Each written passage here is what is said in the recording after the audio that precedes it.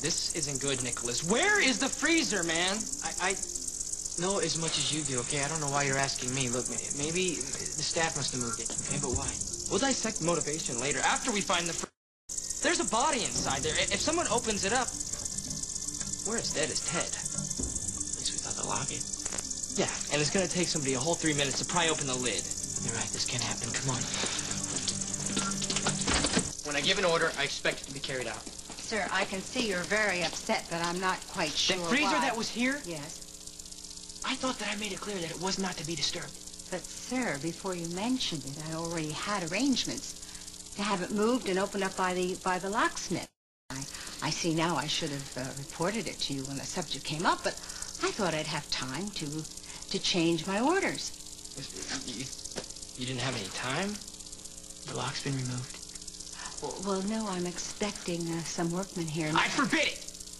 That freezer belonged to my uncle, and he left it here for whatever reason, and here is where it is going to stay. And I don't give a damn what locksmith or staff member is inconvenienced. I want that freezer back here, right now, lock intact. Am I clear enough this time? I'll take care of it right away. sir. Thank you.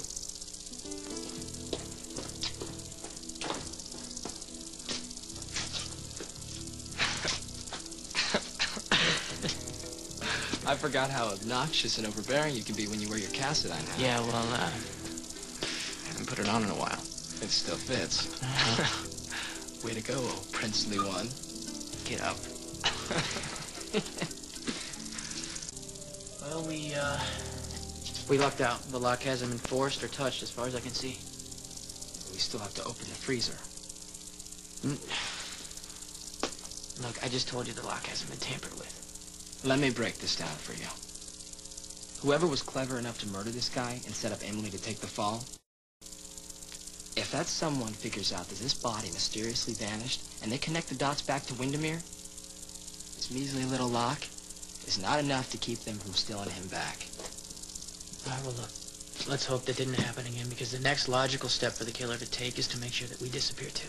So. Go ahead, oh streetwise one.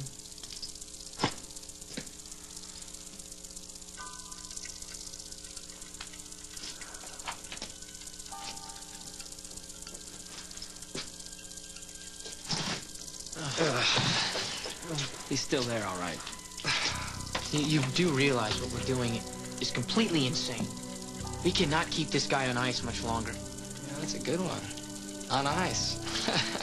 I wasn't joking. I know. But before we can get rid of this Ted guy, we gotta figure out who he is. And why no one seems to be bothered much that he went to a rave and never came back.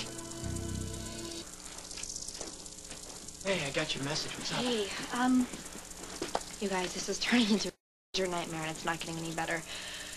Look, we've already lost five grand. I think we should just go to the cops after No, all. no, absolutely not. The reasons that we decided not to still stand. I think Emily's onto something. What since when? You and I are gonna go down to the PCPD tomorrow. To turn ourselves in? No. We're gonna do a little investigation into our boy Ted. See if we can find out why no one's missed him.